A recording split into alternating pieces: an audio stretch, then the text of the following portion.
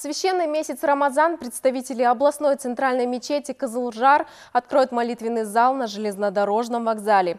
Ведутся переговоры с руководством железнодорожного вокзала, чтобы оборудовать специальную комнату на втором этаже здания.